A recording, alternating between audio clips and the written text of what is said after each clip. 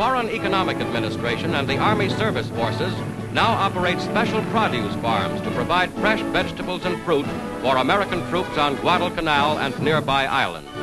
Watermelons, a real delicacy, are among the variety of good things which are grown and transported to men in the jungle interior of the Solomons.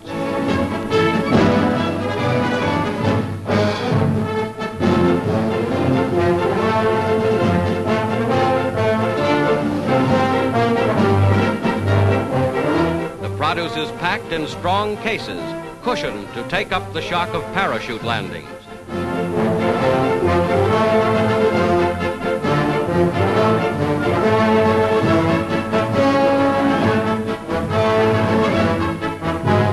An Army transport plane carries them to distant areas.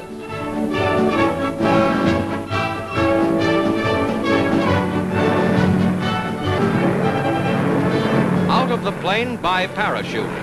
Men of the air delivery section dropped the containers to isolated batteries on guard far from the coast.